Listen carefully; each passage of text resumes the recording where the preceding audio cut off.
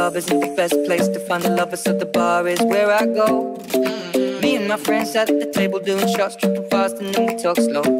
Come over and start up a conversation with just me, and trust me, I'll give it a chance. Now take my hand, stop. Fala galera, eu sou Eduardo Fernando e no vídeo de hoje eu e a Luli vamos ensinar pra vocês algumas dicas de decoração de quarto inspiradas no Pinterest. Vão ser algumas dicas no meu canal e as outras dicas lá no canal da Luli, então você já sabe, assim que terminar de assistir o meu vídeo, você corre pra lá e se ainda não conhece a Luli, não esqueça de se inscrever lá também. Então é isso, se você for novo por aqui, já se inscreve, clica no sininho e chega de blá blá blá. Então cata a lista de materiais e vamos lá para o tutorial. E o nosso primeiro DIY são esses quadrinhos com folhas secas. E para fazer ele, você vai precisar dessas molduras que você encontra em lojinhas de R$1,99, folhas secas de uma árvore qualquer, tinta e pincel. A primeira coisa que você vai fazer vai ser colher as folhas que você quer colocar no seu quadrinho. Depois é só você pegar as suas folhas e colocar elas ali entre as páginas de um livro, depois fechar esse livro e colocar algum peso em cima. Como eu queria que as minhas molduras fossem pretas, eu vou pintar todas elas, mas isso é opcional.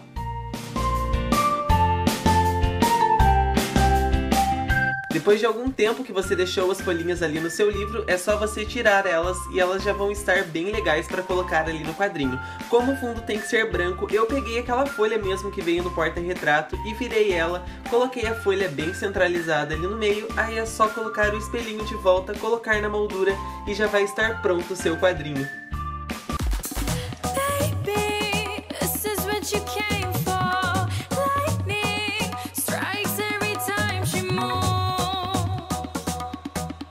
Fazer esses lindos vasinhos de abacaxi, eu usei um vasinho velho que eu já tinha aqui em casa, pincel, tinta amarela e verde e uma canetinha permanente. Comecei pintando toda a parte de baixo ali do meu vasinho com uma tinta amarela. E com a tinta verde eu pintei aquela parte de cima ali do meu vasinho. Depois de tudo seco, eu peguei uma canetinha permanente e fui fazendo esses desenhinhos como se fosse uma letra V ali em toda a parte amarela do vasinho. Depois de seco é só plantar a plantinha que você quiser e está pronto. How deep is your love?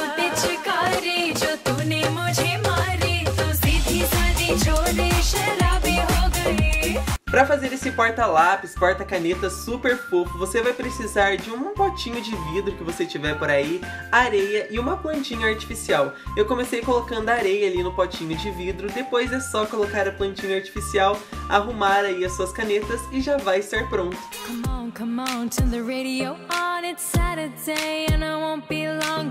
Paint my nails, put my high heels on. It's Saturday and I won't be long till I hit the dance floor, hit the dance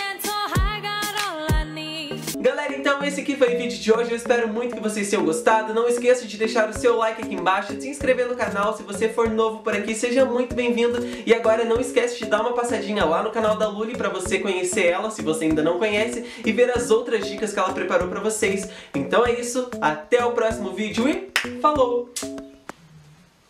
Ficou estranho esse cabelo? Mas é porque tá muito calor, gente. Ignorem isso. Falou! Galera, galera, então esse aqui foi o vídeo de hoje. Você- Galera, novo por aqui, seja... Galera, então esse aqui foi embaixo. Se você...